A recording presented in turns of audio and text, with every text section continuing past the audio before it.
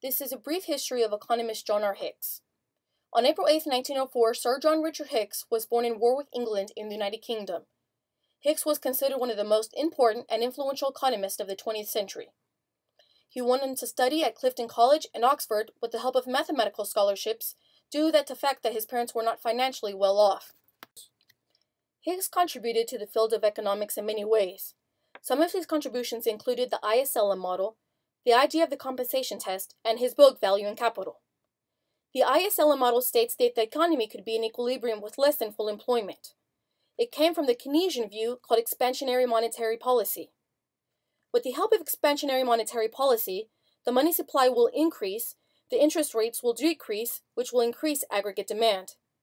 The Federal Reserve operates today with expansionary monetary policy. John Hicks' second contribution, the compensation test, was a way to judge the impact of changes that occurred in government policy. According to Hicks, if those who gain could, in principle, compensate those who lose, even if they do not actually indirectly compensate them, then the change in policy would be efficient. What Hicks had in mind was having government policies be beneficial to society as a whole, which has much to do with macroeconomics, which is studying the economy as a whole. John Hicks' third contribution was his book Value and Capital. His book Value and Capital was published in 1939.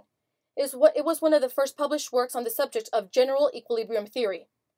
The book also talks about value theory, which brings up the question why do goods have value? Let's take diamonds for example. The higher the price of a diamond, the more people want to buy diamonds.